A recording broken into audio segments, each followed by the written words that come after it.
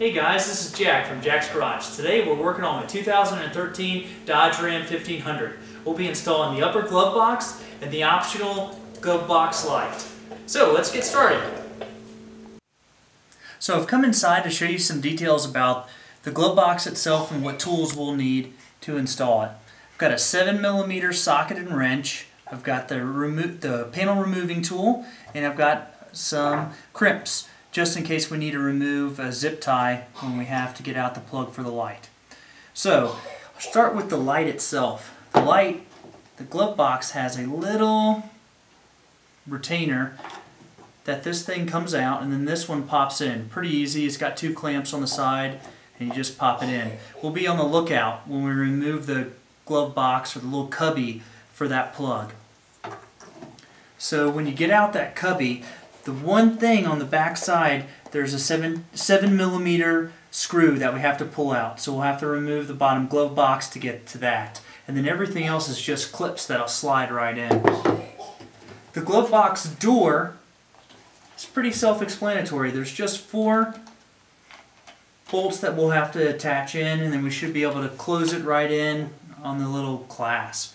So I bought this kit used and it looks like it came with the lower one and the upper one but for some reason I'm missing the screws and I asked the guy he said the screws should be under the cubby when we pull it out. So when we pull it out we'll see if they're there.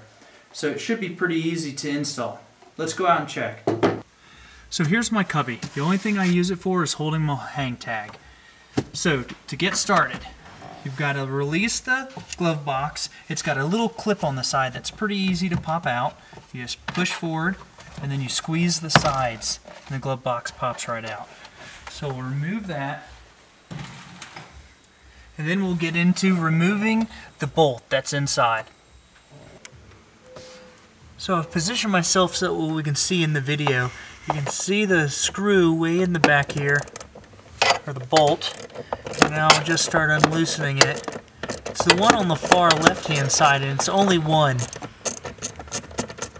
So it doesn't take much to get it out.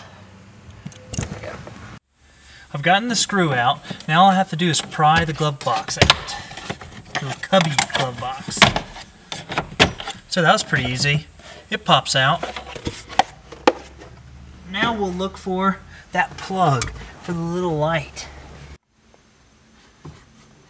Alright, there it is. I found it. Looks like it is attached to something back here. It's tied to some uh, electrical tape, so I'm going to use those little crimps and cut it off. See if we can't get it out. Alright, so this has got to mount way over here to the side to where the light will be. That's perfect. These two zip ties are to when I installed the navigation and had to make the wiring myself. So I'm going to clip those off while I'm in here. So that's easy. And then we'll get our new cubby that goes in here. I'm going to take the little light. Just easily pops right in. There we go. So then when we plug that in, it should work. So we've got the two screw holes here. We've got two screw holes here. So the guy was right. The screws actually are right behind that box. And then this is going to go right over it. So I'll unscrew those real quick. So I did buy my glove box used. And I I thought it was a little dirty. I stuck the bin in the dishwasher and then I took some degreaser and sprayed the face of the glove box and got it clean. I was able to get it used cheaper than I was able to off of off of the Mopar website. Mopar wanted about 275 and $30 to ship. I just thought that was kind of high. So I found it on eBay and I've been looking for months and they would take it was a best offer. So I kept on low balling them, and then he finally came back and accepted it. So I got it about for about $250, and then I it was $16 for that light itself. So I've got a little interior cleaner, never get cleaned. up under this little cubby, so I figured it might be a perfect opportunity to get it all wiped out. So, still pretty dirty, but looks better. And then we'll give it a little wipe down here. And then if you can zoom in right over here, uh, in the past I did do the the filter upgrade for your air um, air conditioning.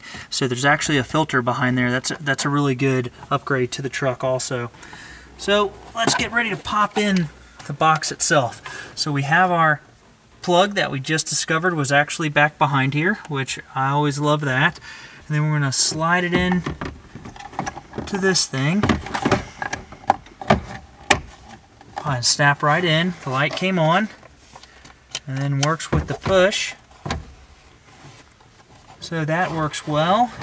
I'm going to set that to the side. We're going to get the cover itself. Unscrew these.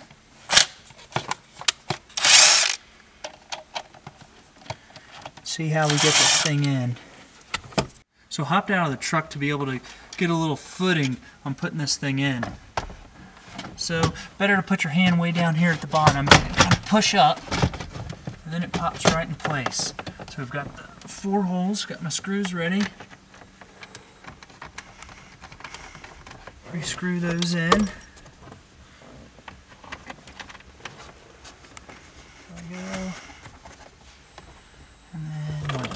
two. Here's one.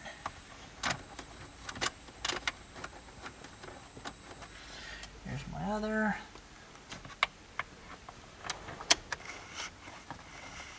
Okay. We'll use my impact.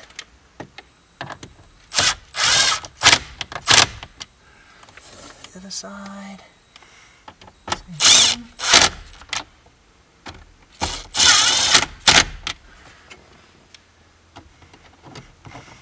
Last one here. Okay, got it. We'll just take this, squeeze it up, pop it in place. Alright, check the little button again. Make sure there's no clips right there. And we'll just pop it down. So, totally different look. Looks fantastic there. Give a good little wipe. Let's see how this thing works.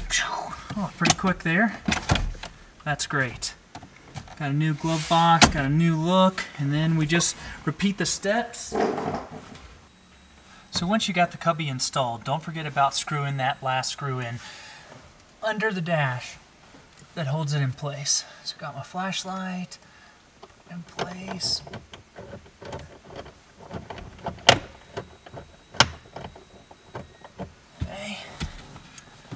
Crank her down. Okay, there it goes, tight. Now to reinstall the lower glove box. Pop the first little clip on that side and this side. See? And then we look for our little bungee. Pull that around.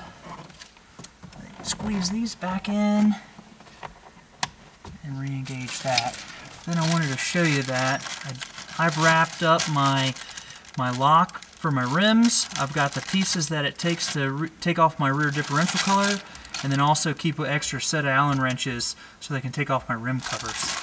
And then I put it put it in a little paper towel so it didn't clank around in my lower glove box. So you clip that in. So I, I think it looks pretty great. It looks like I need to wipe it down a little bit more, but it came out looking great. So if you like watching the video on installing my upper glove box, please subscribe and stay tuned for more videos on the Dodge Ram 1500.